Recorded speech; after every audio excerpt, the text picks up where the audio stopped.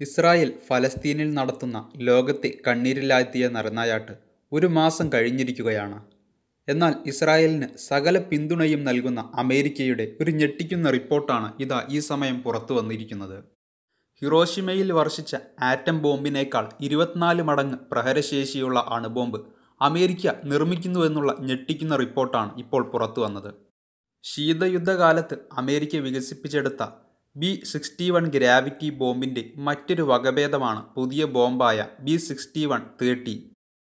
ഇത് ഏകദേശം റഷ്യ പോലുള്ള ഒരു രാജ്യത്ത്, അതായത് റഷ്യയിലെ മോസ്കോയിൽ വർഷിച്ചാൽ മൂന്ന് ലക്ഷം ജനങ്ങൾ മരിക്കുമെന്നും ഏകദേശം അര മൈൽ ചുറ്റളവിലുള്ളതെല്ലാം കത്തിച്ചാമ്പലാകും എന്നുമാണ് റിപ്പോർട്ടിൽ വ്യക്തമാക്കുന്നത്.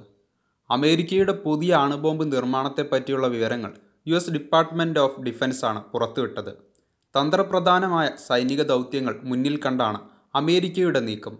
അമേരിക്കയുടെ സഖ്യകക്ഷികൾക്കും ഇത് കൈമാറുമെന്നും അധികൃതർ അറിയിച്ചിട്ടുണ്ട്. ബോംബ് പതിക്കുന്ന സ്ഥലത്തിന്റെ ഒരു മൈൽ ചുറ്റളവിലുള്ള കെട്ടിടങ്ങൾ തകരും.